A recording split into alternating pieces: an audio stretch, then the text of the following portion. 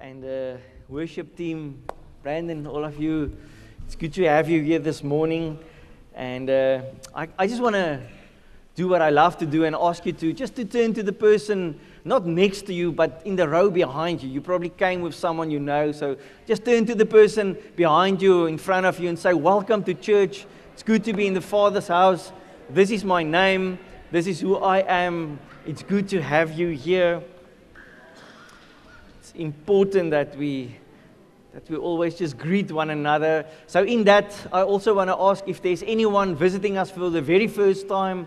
Um, can I just see by the raise of the hand if there's someone welcome here? We would just like to give you a hand and make you feel welcome. It's good to have you here. So, we will just hand out a visitor's card to you just now. So, trust that you will enjoy it with us this morning. And then also the, the ushers, hold you guys. Uh, we will just receive the offering. And then for the, the kids or the children, um, I think Christine is on Kiddies Church this morning. So, all the kiddies, you can leave for Kiddies Church. Um, you can go there to the back. There's Tannie Christine.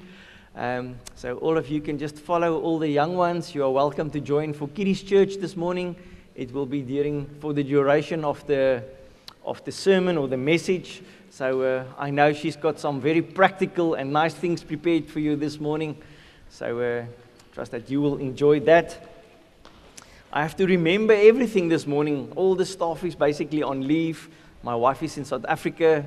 Her mom turns, is turning 70 and her sister 40. And JP and Marlies also have some leave. They were visiting Daryl, uh, Derek and Beryl Puffett in Pretoria. So uh, it's a, it's a one man show in a sense this morning. But uh, I, I, don't even want to mention that word show, so please don't read something into that. I, I, I despise that word in the church. It should never ever be like that. It's just a way of saying that it's uh, me and myself. But nevertheless, good to have Sebastian. Okay, awesome. Um, last week we didn't do it, but this week, if there's teenagers in the house, I think those 12 or 13 or older, um, you can just go to to Pool. I, I um, yeah, she loves to spend time with you. So if there's young people ages 12, 13 to 18, um, you are welcome to join Pool there in the foyer. She's got a heart to, to make disciples as well and to spend time with you. So you are welcome to, to join her this morning. For the rest, it's great to have you here. Um, I don't usually welcome uh people specifically maar ou Freddy ek het jou hier gesien vanoggend. Waar is jy? Hey kom. Is hom lekker om jou hier te hê. I just want to say good to have you here Freddy. Freddy is living in South Africa in the garden route in uh, George. And uh, ja Freddy just great to see your smile and your it's great that you come and visit us while you are here in Swakop. So uh, bless you as well so this morning I want to share a little bit and start um, last week. It was Easter weekend, and uh, I spoke and shared a little bit um, about everything surrounding that theme. Um, about the death and the resurrection of Jesus Christ, which is, which is, also the foundation and at the heart of the gospel message that we preach. And uh, I specifically spoke a little bit about how, in terms of the of communion or the Lord's Supper, we will also have communion this morning. It's the first Sunday of a new month. It's April already. So uh, every, every first Sunday of a new month, we celebrate communion or have communion. And I want to encourage you to do it as often as you want to. There's no law regarding that. We are free. Um, so every day of the week, you can have communion at home if you want to, in your small group or, or wherever. But as a church, we, we, we also celebrate communion. And it's important because last week, the, at the heart of the message or the foundation of the message was how do we remember Jesus during the Lord's Supper, during communion? And I spoke and referred a little bit to, to the what and the why, why Jesus died, um, and what, um, what happened during that time. Um, I'm still personally chewing a little bit. I, I, said, in terms of the why Jesus died, I gave you 50 reasons from John Piper's book, 50 Reasons Why Jesus Died. Um, I recommend that you read it, it's good stuff. I'm still chewing on that in a sense. So, if we have to go back more or less 2,000 years, um, we see that the, the, for the people, or in, in terms of redemptive history, that was a time where Jesus was already crucified, the grave was empty, he is risen, uh, he was alive, he was appearing to people, um, during that time period. So it's in a sense, I was when I was praying, it came to mind, and I thought I must really get my theology right now because was it already the birth of the church, or was the birth of the church only after Pentecost? But it was also in this in between time and season where Jesus died on the cross, where he rose again. There were testimonies that the grave was empty, and there was this 40 days period before Jesus' ascension, and thereafter Pentecost and the pouring out of the Holy Spirit, where Peter stood up and preached his first sermon. And I think that's basically where the, the early church was birthed, and the first people were added to the church. So it was also in this, this in between time, in a sense. So this morning, I just want to quickly, it's, it's almost that, that 40 days in between. And where do I get that? I just briefly want to read you from Acts um, chapter 1, verse 1 to 5 where Luke is writing and he says, In this first book, O Theophilus, I've dealt with all that Jesus began to do and teach until the day when he was taken up after he had given commands through the Holy Spirit to the apostles whom he had chosen. He presented himself alive to them after his suffering by many proofs, appearing to them during the 40 days and speaking about the kingdom of God. And while staying with them, he ordered them not to depart from Jerusalem, but to wait for the promise of the Father, which he said, You heard from me. For John baptized with water, but you will be baptized with the Holy Spirit not many days from now. So that's basically where that 40 days come from. And I think I've written it, I made a, mess, a note, little note. I think it's on the 9th of May, according to our calendars. There will be a public holiday, if I'm not mistaken. Um, and that is Ascension Day. So if we have to go back to, to, to basically the New Testament um, narrative, we would see Jesus died, Jesus rose again. It's in this in between 40 days uh, where Jesus ascended, and after that it was Pentecost, pouring out of the Holy Spirit um, to the church and the people.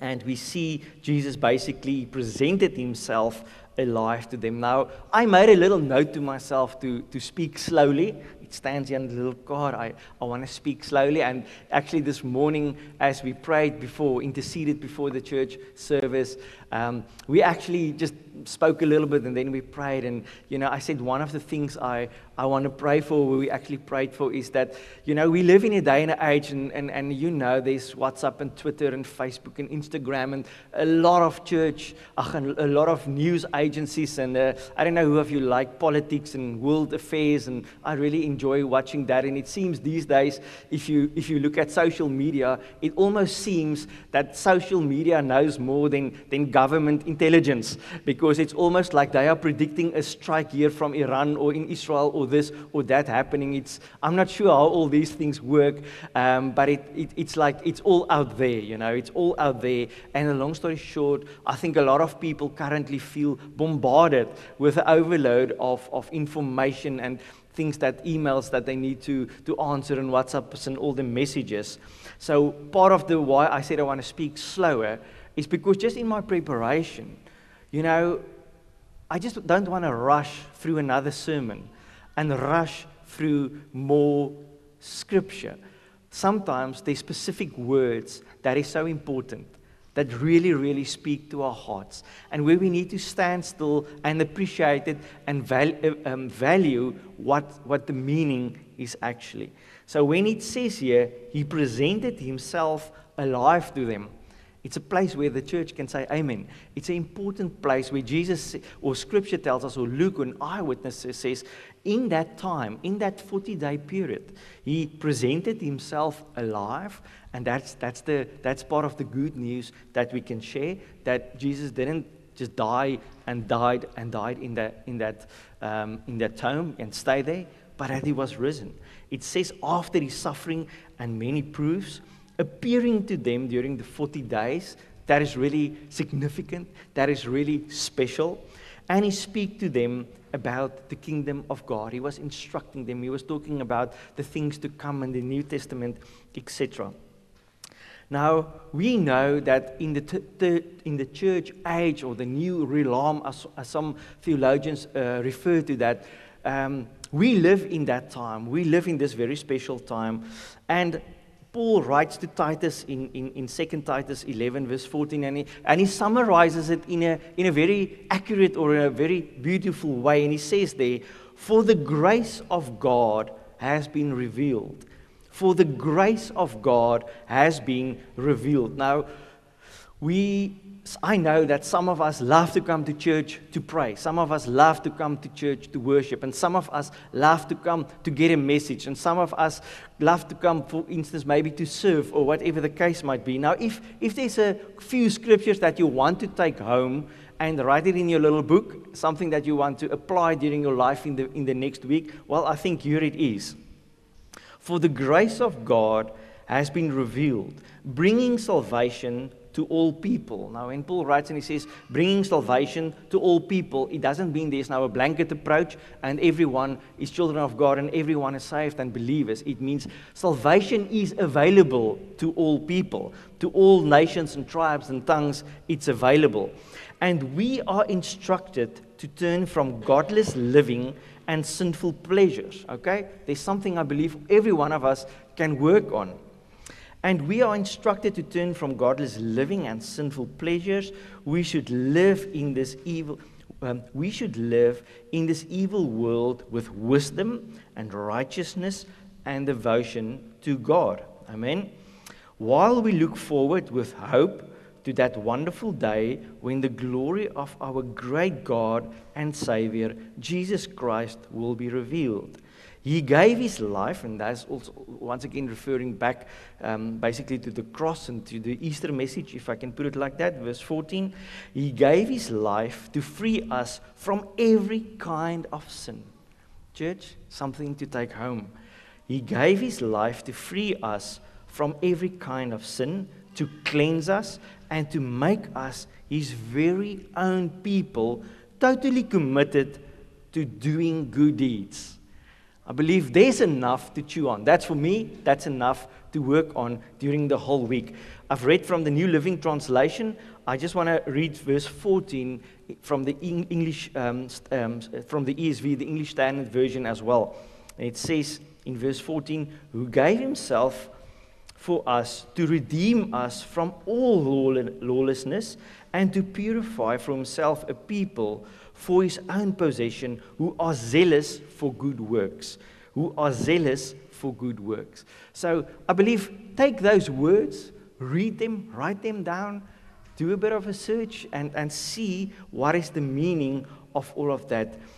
In the Amplified Bible, it ends with who are enthusiastic for doing what is good. So Father, this morning we want to pray, Lord God, and, and we want to pray scripture, Lord God, that, that we will be a people, Lord God. We thank you this morning that you have given your life, Lord God, that we can be potentially freed from every kind of sin, Lord, that, that you cleansed us, Lord God, and that you made us your very own people, Lord God.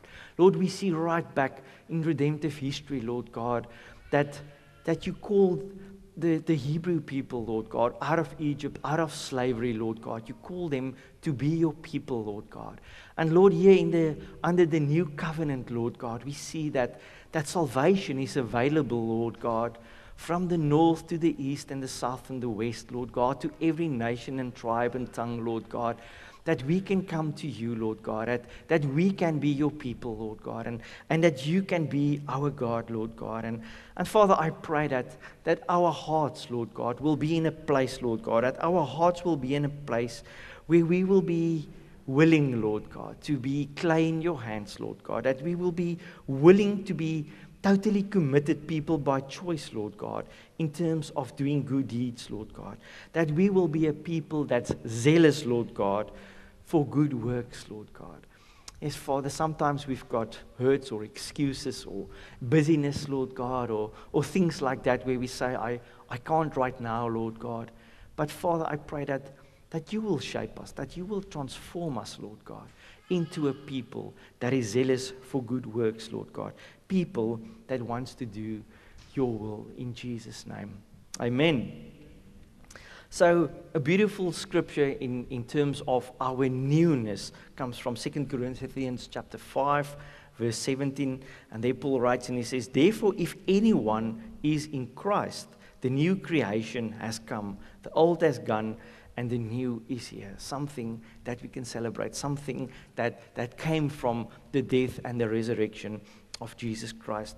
I read a beautiful, um, not a quote, but a passage from the author Douglas Moo, and it's not a, um, it's not a, uh, he's actually a, a very, very uh, good scholar. He writes some of the best commentaries on the book of, of Romans, for instance. Um, and he's, in his book, A Theology of Paul and His Letters, A Gift of the New Realm by Douglas Moo, he says in his book, in one, in one sentence, when he writes about this newness, he says, Christ became what we are so that we might become what he is. And I just thought it's something powerful to share. Christ became what we are so that we might become what he is. And he writes it in connection with uh, second, um, yeah, 2 Corinthians chapter 5, verse 21. And it, it, there Paul writes and he says, God, if you wonder on what he's basing that, he says, Paul writes and he says, God made him who had no sin to be sin for us, so that in him we might become the righteousness of God. Christ became what we are so that we might become what he is. That's the process of sanctification and discipleship. It's a lifelong process where we leave the old nature in that sense completely behind and becomes more Christ like. So this morning, I actually, when I saw Freddie, um, I, it reminded me of a, of a message that I preached. Now, not, neither me or Freddie can remember when it was, but probably about five years ago in Walvis Bay, and I think he was attending church. Can't remember if you led worship that morning, but that morning, I actually remember I spoke about the good news, and I, I spoke about what is so good about the good news. Now, I'm almost there once again because the gospel is foundational to what we need to preach and do in this church age. So, if I have to ask the question, now, when I was preparing, I didn't think back about that sermon I preached five years ago, but this morning, I want to ask you a question. What would you say? And, and it's okay if we differ a little bit in terms of our view or the way we might choose to answer this morning. But what would you say? And, and I'm a little bit at lack of words, not because English is my second language, but I'm not sure exactly how to answer or to ask this question. But I wrote it down. What is the highest or the sweetest or the best part of the gospel? Of the good news to you. What is that part that makes the good news so good? Now, I've already spoken last week about the death and the resurrection of Jesus Christ, so, so that's not what I mean when I ask this question. What is that part that makes all the other things in terms of the new covenant so good? Should I give you a moment to think about it? What is that that, that best part, that highest part, that sweet part. I, am not sure, sure exactly how to ask it. That makes the good news so good. Well, would you say it's justification by faith? Would it be maybe the forgiveness of our sins? Is it the removable, the, yeah, the removing of the wrath of God over our lives? Is it the redemption from guilt? Is it the liberation from slavery to sin? Is it maybe salvation from hell? Is it eternal life or, or entrance into heaven? Is it maybe the deliverance from pain or sickness or depression or, or all the things that we battle with? The list goes on because in that book there's 50 reasons why Jesus came to die from John Piper. And what would you say this morning? What is in your heart in, when I speak about personal revelation and personal application in your life as a believer? What would you say is the, is the sweetest part? What is that? Um, you know, there's certain things that, that is important to me before I go to bed at night. I want to know where my family is. I'm the type of guy that, that checks three times that every door is locked and the dog's water is taken away and that they have their food and certain things are in place. But for me to have rest as a child of God, there's also certain things that is important. What is most important to you when, you, when we speak about the gospel and the good? And I will say every one of those examples that I got from Scripture is important. Every one of them is, is powerful and significant. But, but what I want to share this morning is maybe from, from where I stand, and maybe it's okay if you see it a little bit different, something that, that's a little bit like an umbrella for all these things. And I want to read to you from 2 Corinthians chapter 4, verse 1 to 6. And I want to do it slowly because that's the, the note I made to myself this morning that we can really weigh and value what Scripture gives us and what Paul wrote here. 2 Corinthians chapter 4, verse 1 to 6, and I'm living, reading from the New Living Translation. It will be up there. I will quote the, the ESV as well. Therefore, since God, in His mercy, has given us this new way, we never give up. We reject all shameful deeds and underhanded methods. We don't try to trick anyone or distort the word of God. We tell the truth before God, and all who are honest know this. Verse 3 If the good news we preach is hidden behind a veil, if the good news we preach is hidden behind a veil, it is hidden only from people who are perishing. Satan, who is the God of this world, has blinded the minds of those who don't believe. They are unable to see the glorious light of the good news. They don't understand this message about the glory of Christ, who is the exact likeness of God. And I think there's, there's something here that's, that's of substance. There's, not that the rest isn't, but there's something that's, that's heavy. There's something that we can weigh this morning. Paul writes and he says, and he says, well, there's, there's, there's an issue of blindness. There's an issue of those who cannot see. The God of this world, Satan, has blinded. We know there's hardened hearts and those that doesn't respond to the gospel. But what he says, they are unable to see the glorious light.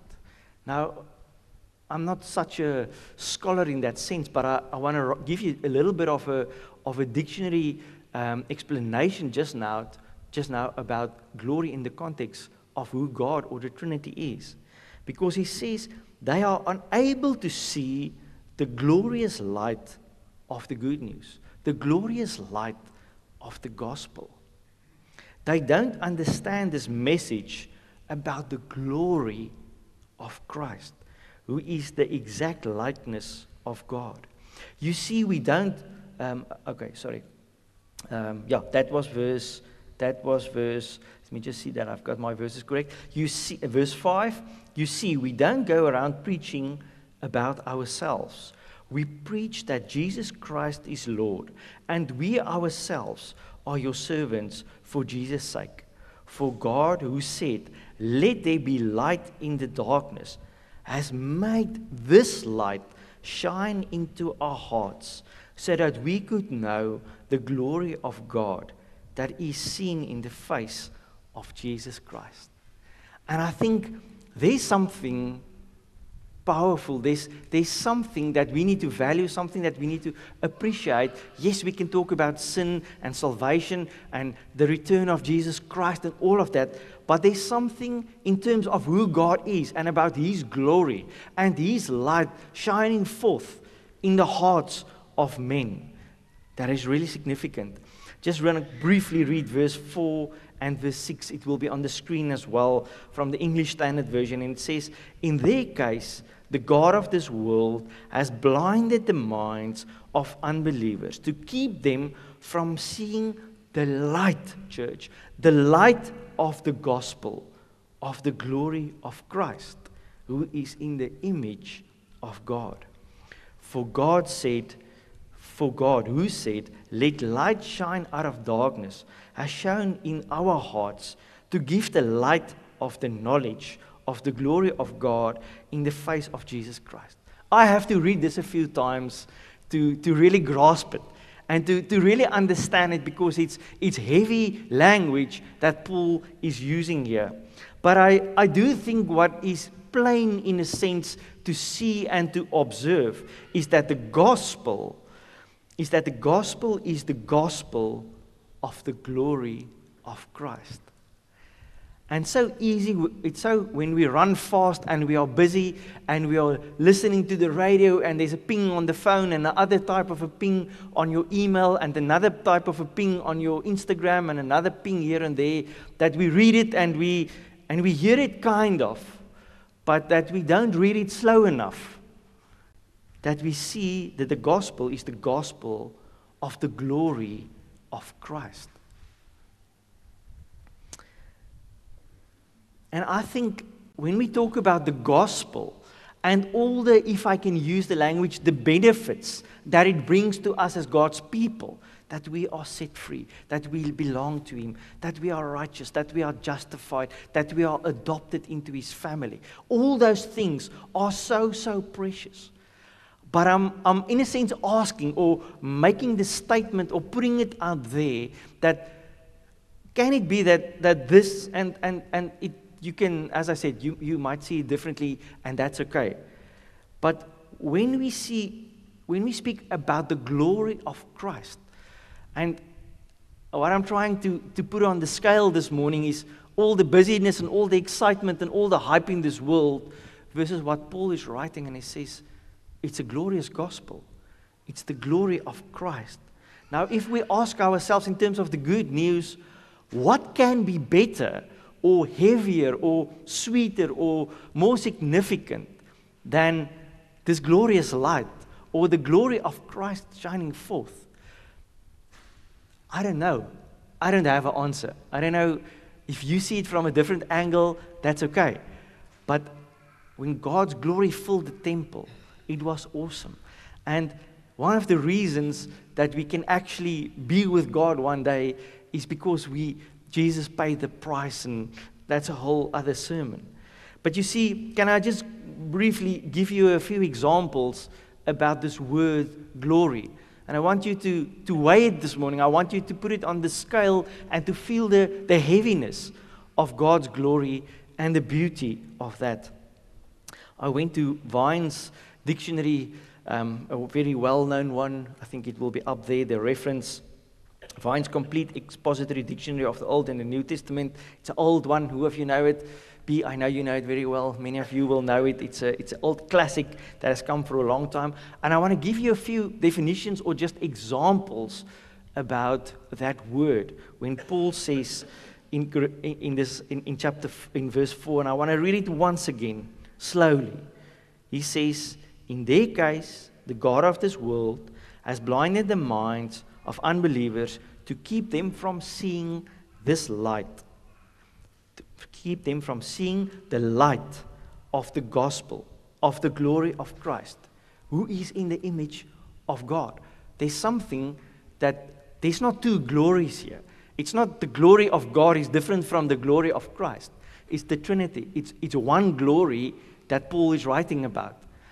And here, when we go to, to, to examples, it must be up there. Okay, it's coming just now. I just want to read you, to you a few examples. Or in, in Vine's dictionary, it says, It is used of the nature and the acts of God in self manifestation, what He essentially is and does. What He essentially is and does, as exhibited in whatever way He reveals Himself in these respects and particularly in the person of Christ, in whom essentially his glory has ever shined forth and will and ever will do. And then there's references. There's something, church, where we can say, this is the pulpit, this is the floor, this is the sheeting of the roof and the concrete and the stainless steel and the wood and all these things. But God's glory, in a sense, is abstract. It's not, it's not something that I can dish out this morning. This is a, a book, it's a Bible with, with a black cover, etc. But there's something about God's glory where we have to turn to all of Scripture in the Old and the New Testament and see something and understand something about that word and, and the meaning of that word to take it back to the gospel and to what Paul is writing here and to understand.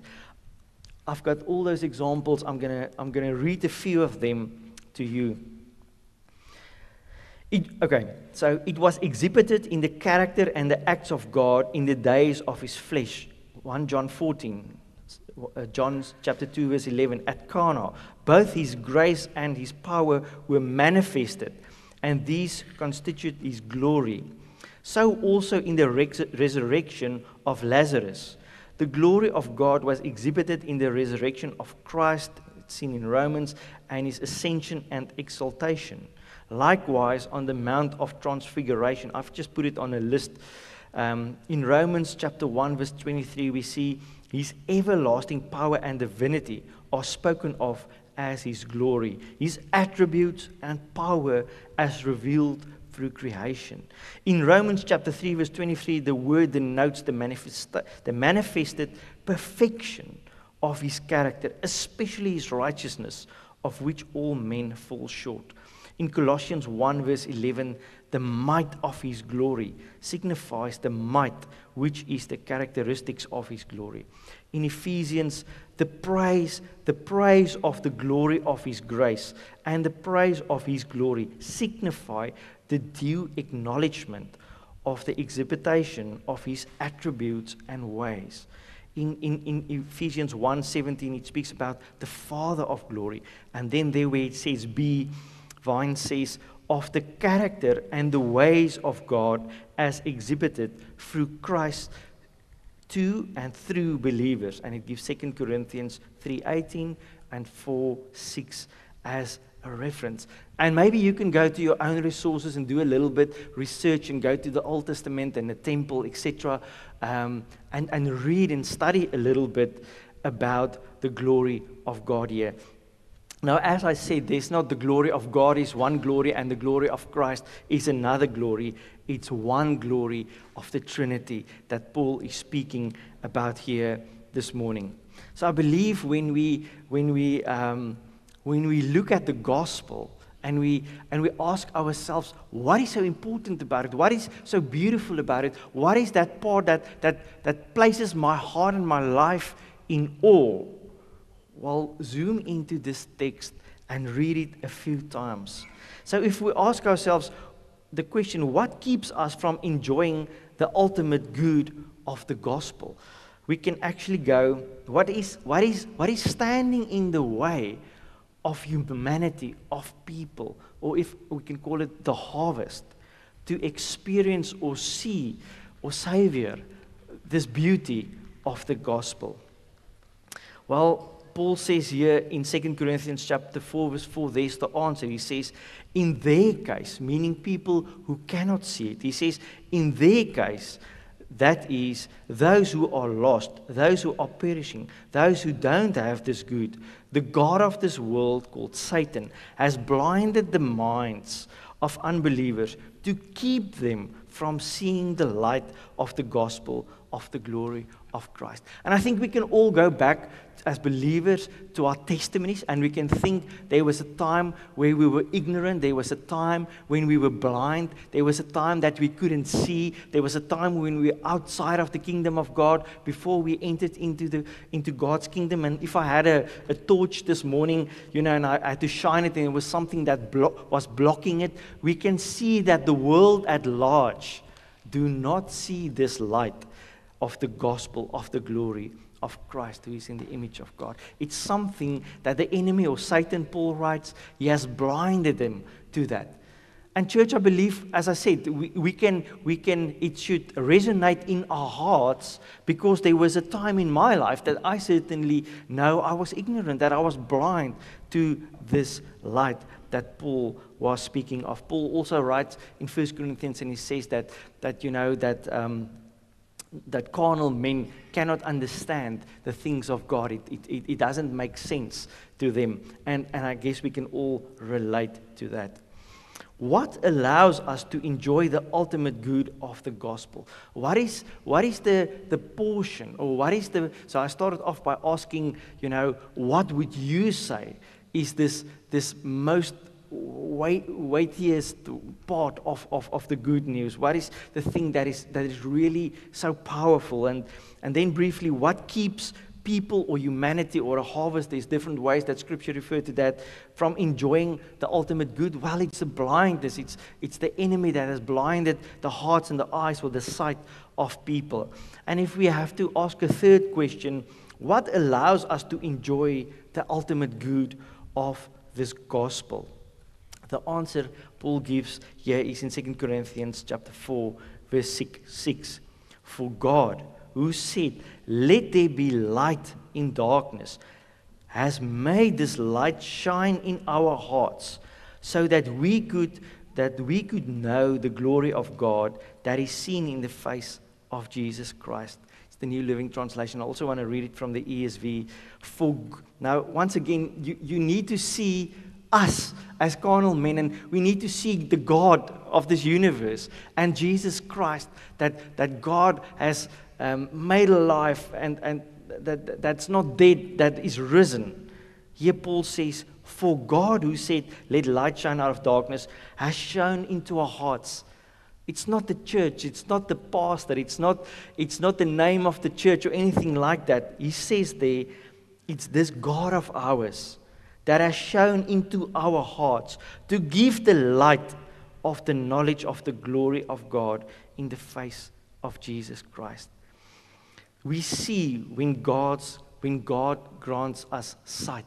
It's not something that we can self by ourselves switch on and off. It's not something that we can do. It's not something I don't have this little genie in a bottle or this toverstokkie or something that we could that we could use. It's a God thing. Because everything that we read from Genesis to the book of Revelation is about God's story. It's about His narrative and how He dealt with people. And here we see, as, as I said, I'm trying to give you the context death and resurrection of Jesus Christ. Here's the, uh, the ascension of, of, of Jesus. And thereafter, it's the church age, the, this, this age that we live in.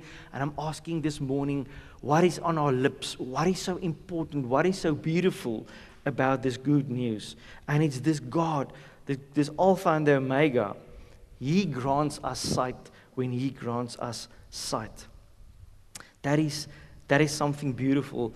If we have to ask ourselves this question this morning in terms of the good news, in terms of the gospel, because, church, we shouldn't just remember as Paul writes in 1 Corinthians, as I shared last weekend, we shouldn't just remember Jesus about the what and the why, what happened at, at, at, at Easter.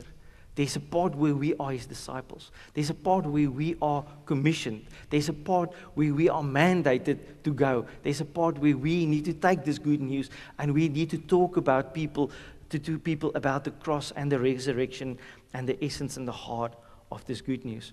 What can you and I um, is there anything that you and I could do that would help other people see this heavy, high, beautiful part of the good news of the gospel?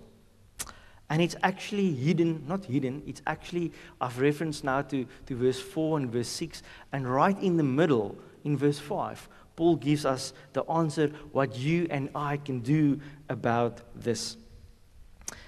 Paul writes, uh, or not, yeah, Paul writes here and he says, um, in between 2 Corinthians chapter 4, verse 4 and 6, he, um, he says, between, between blindness and sight, there's something that was done by man. There's something that was actually done by Paul. And he writes, For what we proclaim is not ourselves, but Jesus Christ as Lord, with ourselves as your servants for the sake of Jesus Christ.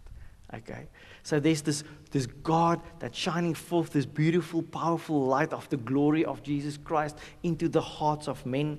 Paul says, What we proclaim, it's not ourselves, it's not our own message, it's something that has been handed down to us from Jesus Christ. We received it from Him. Jesus has appeared to many, He was the living testimony, he, and that's why we have these witnesses. Here, Paul says, What we proclaim is not ourselves, but Jesus Christ as Lord, with ourselves as your servants for Christ's sake. Okay, that's the message. That is what we can do about it. I know every Saturday, Daryl and Alura, I think there was actually someone that wanted to, to take, give a testimony this morning, but it, unfortunately he's not here, and that's okay. Um, about yeah, prison ministry and, and what the Lord is doing there. But you see, that is the message. That is what we need to take out and need to preach Jesus Christ as Lord. So, as I said, we, we look back and we remember. We remember the cross. We remember what and why Jesus died, what he did for our sakes. And then we look forward. There's a part of looking back, but there's also a place in the here and the now. We look forward to the return of Jesus Christ, where Jesus will come back for his bride, etc.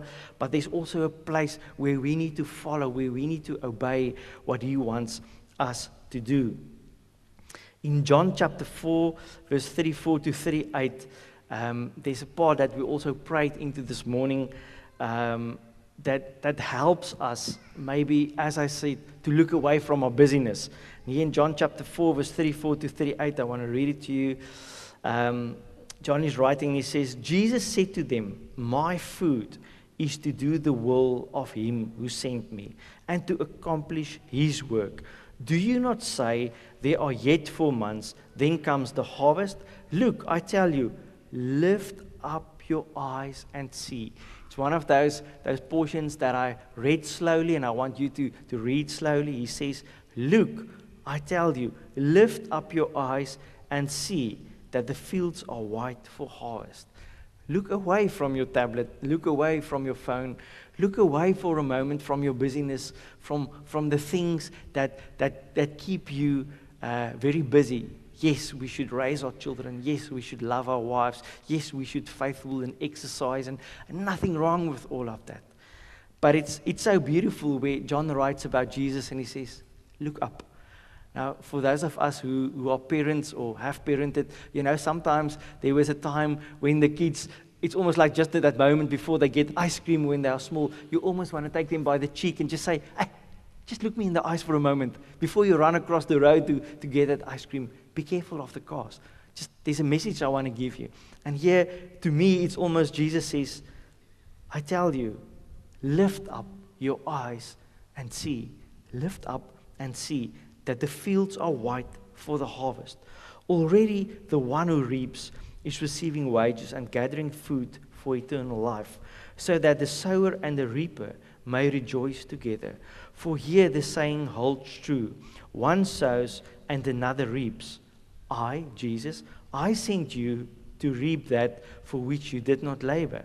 Others have labored, and you have entered into their labor. I, I want to read it to you from the New Living Translation as well. Verse 34. Then Jesus explained, My nourishment comes from doing the will of God who sent me and from finishing his work. You know the saying, four months between planting and harvest. But I say, wake up and look around. Look up and see.